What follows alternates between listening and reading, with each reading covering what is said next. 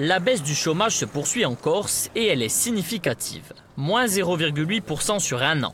C'est ce qu'annonce Pôle emploi dans des chiffres publiés aujourd'hui.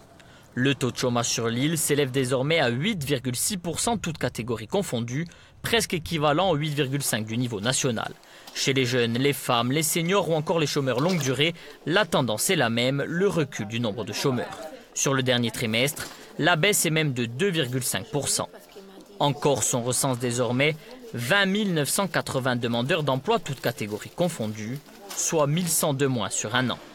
Parmi les secteurs les plus porteurs, la construction, plus 33% d'emplois dans le BTP.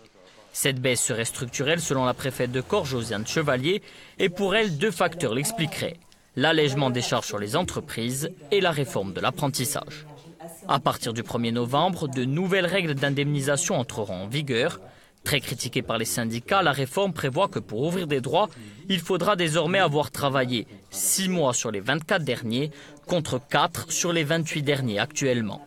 Ce durcissement des règles pourrait avoir un impact sur le futur nombre de demandeurs d'emploi.